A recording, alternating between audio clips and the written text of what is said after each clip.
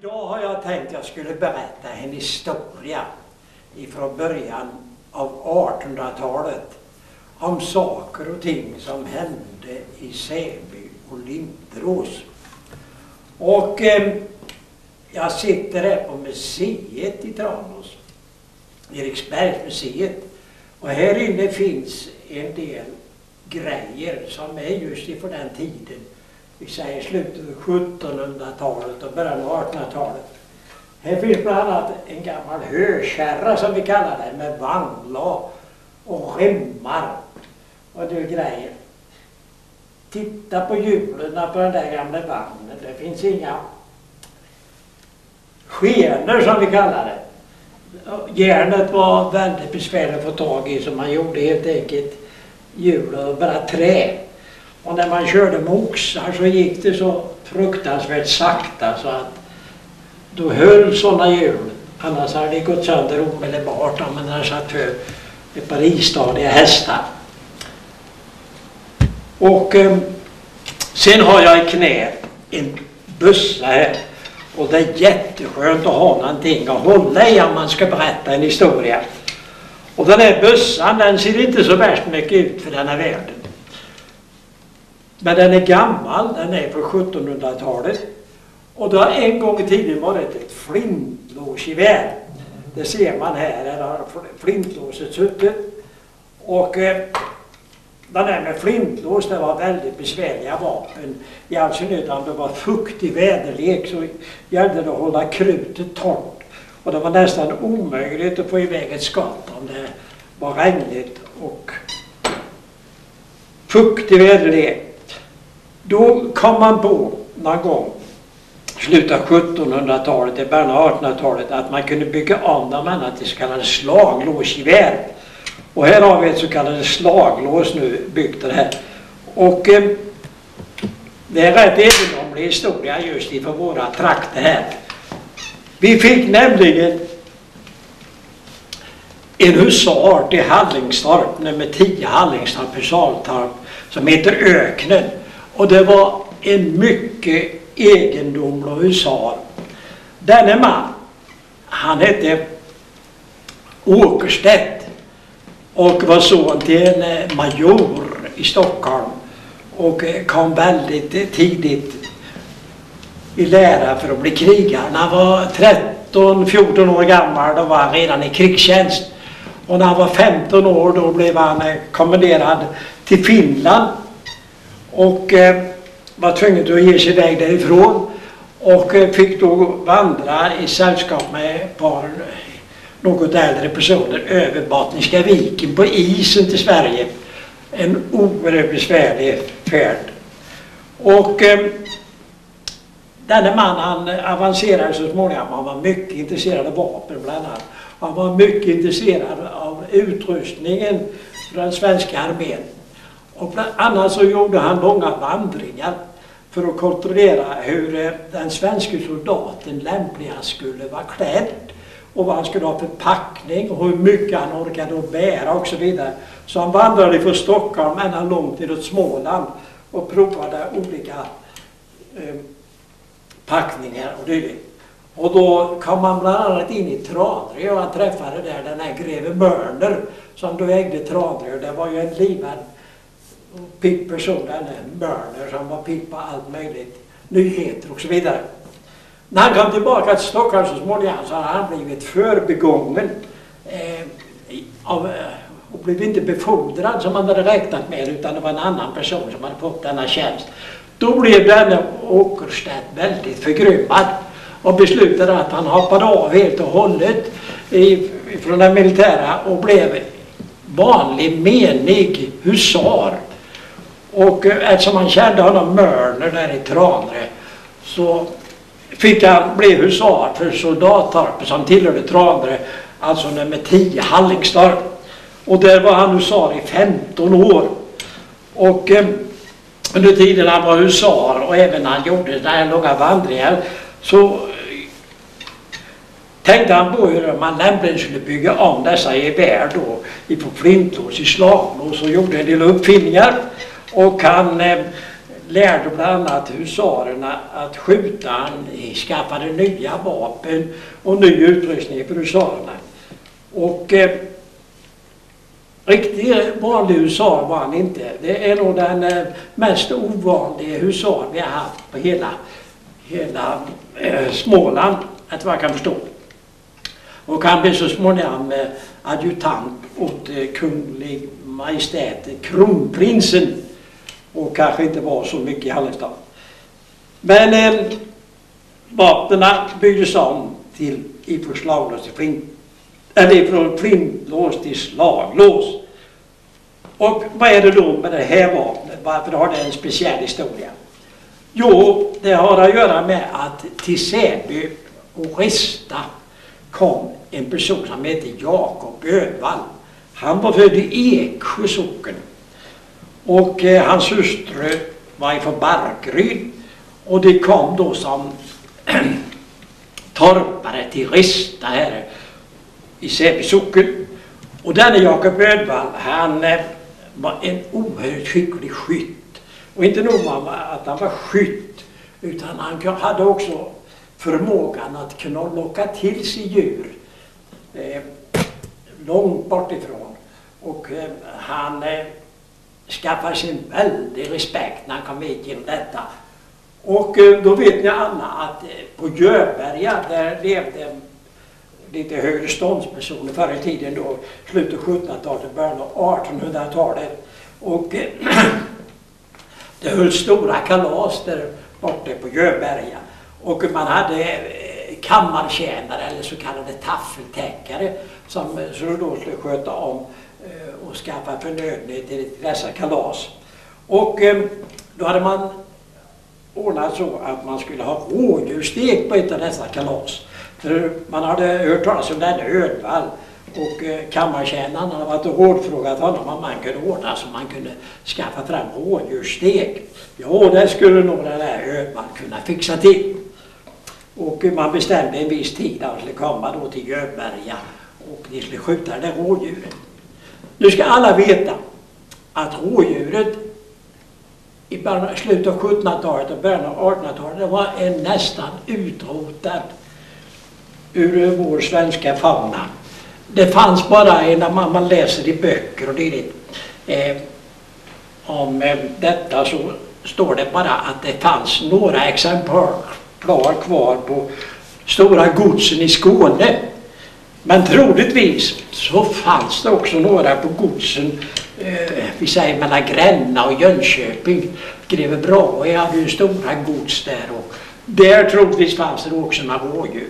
Men eh, annars i dessa trakter fanns inga rådjur kvar, varken älg eller rådjur.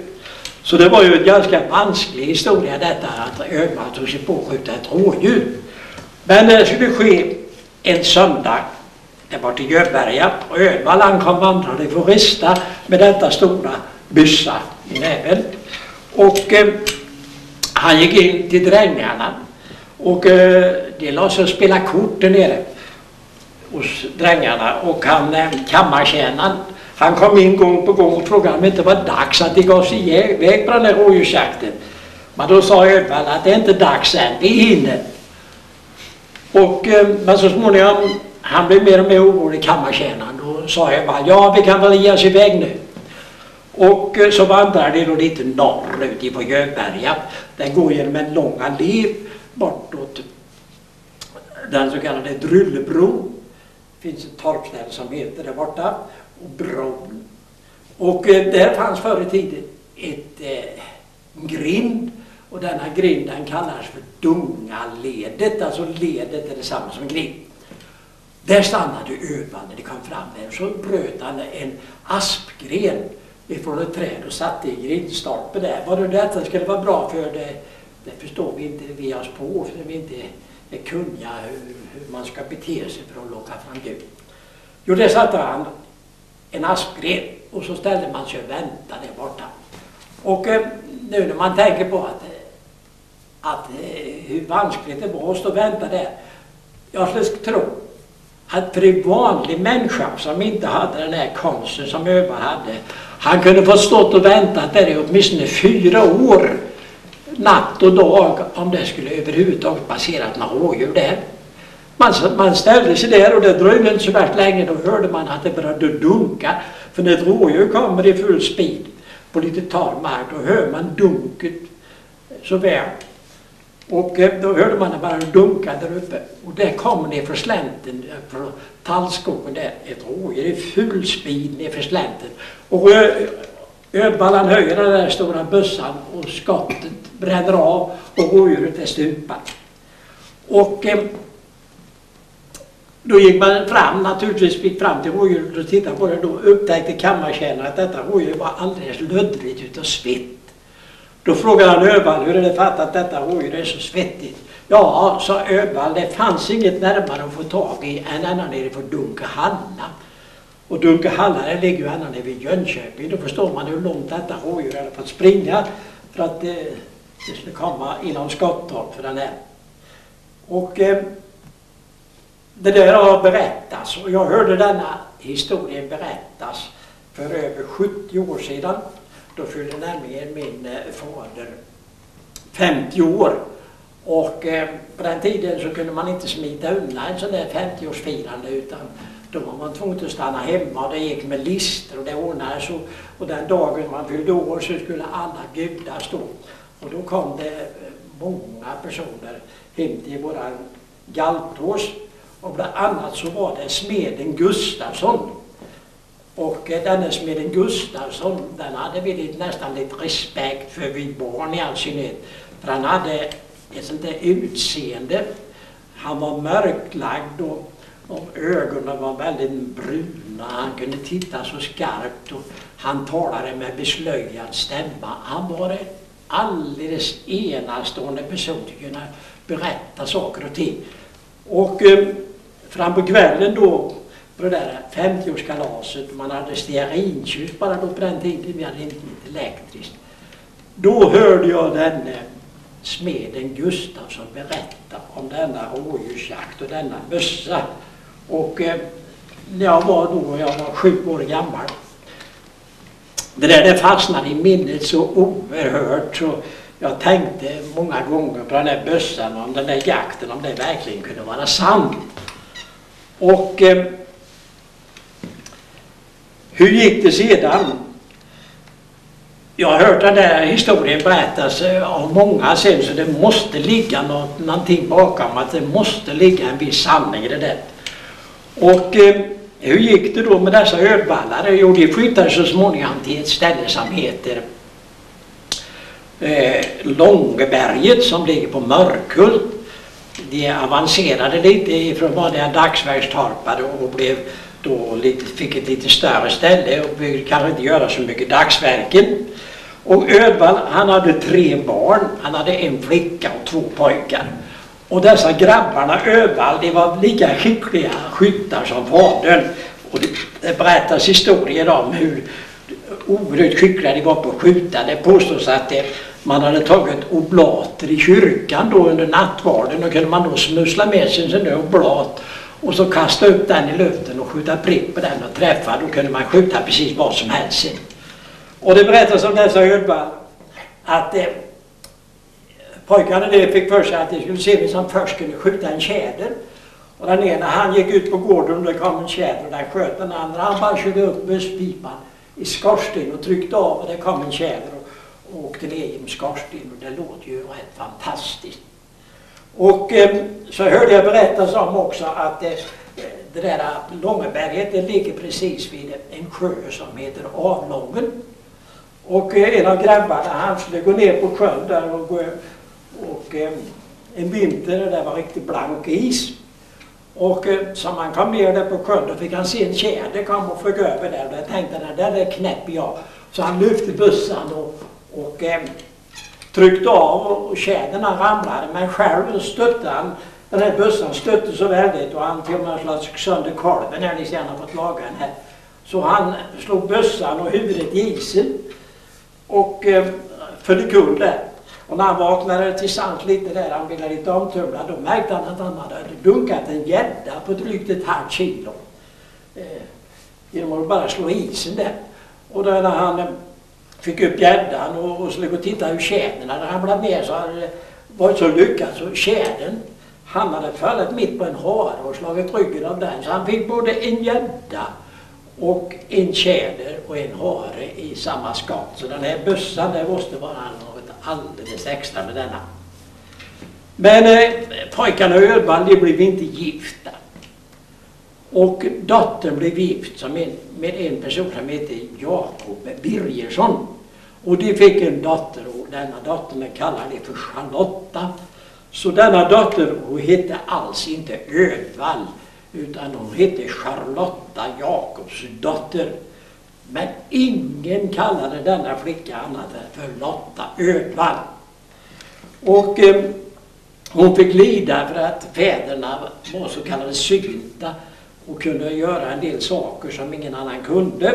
Så alla blev rädda för denna stackars Lotta. Och eh, Lotta blev en mycket ensam person som bodde där i Långeberget. Och eh, när hennes föräldrar blev gamla och eh, inte orkade längre och dog så tog hon över stället och skötte detta Långeberget. Och hon körde bland annat timmer Hon körde stock från Långeberget till till Gripenberg och då körde hon par med en häst och en stut. Det var ju ett synnerligen omaka par och så en kvinnlig förare. Och eh, det har jag hört fler berätta om. Och hon åkte bland annat till Tranås och körde med sin stut och åkte på en så kallad Falabanke. Det har vi ingen en gång här men det var ett mycket vanligt en, ett, en enaxlad vagn då som man hade efter en stut eller en oxe och hade nog ett par säckar på att sitta på. Det åkte Lotta Öva till staden. Men eh, hon blev gammal, även Lotta. Hon skötte sitt lantbruk inte så särdeles något och det började viskas i bygden att Lotta Öhvall eh, kreatur är så magra och usliga, det är rena djurplågeri, det får inte vara så. Och då fick väl landsfiskalen Pira ge sig ut till Lotta Öhvall där och se till så att det blev en ändring. Och han förbjöd att hon fick inte ha några kreatur längre. Och eh, man var tvungen till, hon kunde inte klara sig utan man var tvungen till att köra bort Lotta Öhvall till det så kallade fattighuset. Det hette fattighuset långt in på 1900-talet. Ingen sa ålderdomshemmet utan det sa fattighuset. Och detta fattighuset, det var ingen som längtade dit helt enkelt. Och inte Lotta Öhvall i all synnerhet, för hon hade levt ensam och haft ett, eh, fått sköta sig själv och inte behövt bry sig om någon annan. Och det var två av socknens förtroendepersoner som fick köra bort Lotta Öval. Och det var sannerligen ingen rolig sak som de fick vara med om. Eh, Lotta hon skällde på dem hela tiden man åkte till Säby. Och bland annat så sa hon, denna resa sa hon, den ska ni få göra om en gång och det ska bli samma söndag. Ska ni få göra om den här resan. Och eh, dessa båda förtroendemän, de dog samma dag tror jag och begravdes samma söndag i Säby. Så det, många sa, tänkte att det slog in. Och därmed så skulle ju den här historien egentligen vara slut om den här bössan. Men eh, det gick många år och jag hade glömt av nästan både Lotta Öhvall och bössan. Till det plötsligt, jag fick ett telefonsamtal sådär. Det kan, det kan komma telefonsamtal ibland som jag aldrig har tänkt på. Och då var det en mycket gammal kvinna som ropade i telefonluren att jag har Lottas bössa. Och jag fattade inte riktigt i början vad det var frågan om. Jo, jag har Lottas bössa. Och då kom jag att tänka, det måste vara Lotta Öhvalls bössa. Och då började jag fråga ut den här. Har du den? Får jag komma ner och titta på den då? Ja, det fick jag så gärna. Och jag åkte till den här kvinnan som bodde i Katarp, Strömsberg. Och de tog fram bössan och jag fick se det här fantastiska vapnet som jag hade hört berättas så väldigt mycket om. Och då berättade hon att hennes man, för att den här kvinnan hon var född i Farsbo, hennes man, och han hade varit med på auktionen efter Lotta Öhvall när man sålde av all hennes lösegendom där borta i Långeberget och då hade han ropat in bössan på den här auktionen. Och eh, då fick jag ju se att den verkligen existerade och fanns här. Och eh, jag försökte att fråga henne så mycket som möjligt om Lotta Öhvall. Men hon kunde inte berätta, hon var uppe i över 90 år. Men hon sa gång på gång, så jag var då aldrig rädd för Lotta. Och det talar om för oss sentida nu att vilken respekt man hade för denna stackars ensamma kvinna i Långberget. Och eh, bara för att hennes fäder och de var så skickliga skyttar och hade en mössa som ingen annan hade som man kunde skjuta precis vad som helst med. Och nu är det så lyckligt att eh, hembygdsföreningen har fått den här bössan. Och det är inte många saker som hembygdsföreningen har i sin ägo som finns en så lång och fin historia om som just denna bössa som har varit Jakob Ödvalls bössa och som man sköt ett rådjur med i början av 1800-talet. En klenod för hembygdsföreningen att ha denna bössa i sin ägo.